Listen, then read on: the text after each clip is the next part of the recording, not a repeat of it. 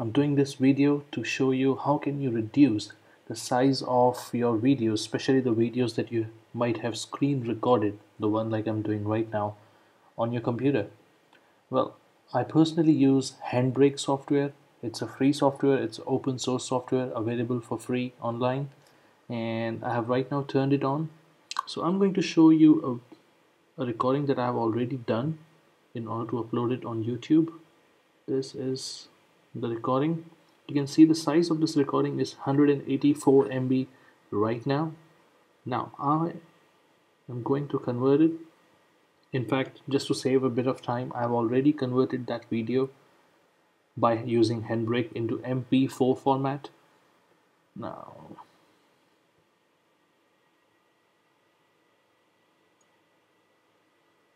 and this is that video so if you look into the size of this video it is just 25 MB so well what it means is the size of the video has been reduced from 184 MB to 25 MB that's a huge huge huge and significant reduction in the size.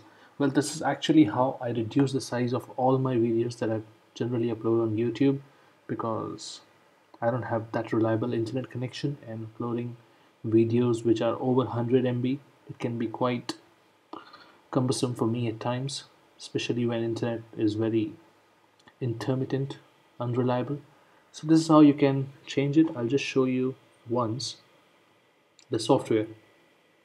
This is the handbrake software that is available on the internet. You can see the link from where you can download this software below in the description all you need to do is that select the source that you want to convert or from one format to another. Handbrake software generally converts the file into mp4 file but you can also convert it into other formats.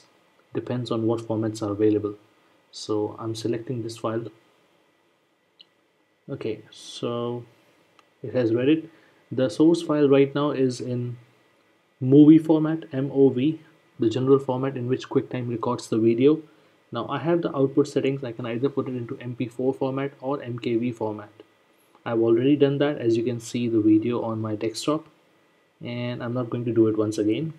The duration is not very long. It's only 1 minute and 24 seconds. It's going to be available on YouTube very soon. So you can also see the picture size and everything the source is this much 1680 by 150 1050 pixels and output size also remains same. Frames per second remains same. I don't change it at all. In fact I don't change anything at all. I don't even take any of the extra options whether it has to be web optimized especially for web purposes or it has to be particularly large file size. I don't do this. One added feature of this particular software handbrake is that you can add files to queue so basically this file already exists on desktop. It's asking me if I want to overwrite this file. What I can do is that I can just change the name of this file. Okay so I have added the file to queue now and this is it. It's showing me the queue. Now if I start it will automatically start processing the queue one by one. So what happens is that if I have many videos to convert all at once I don't have to sit by the computer I just have to put them in queue and start it. It will automatically go on converting each of the videos into desired format that I want to. And once done well that's it. The output is available for me to use. So that was it guys.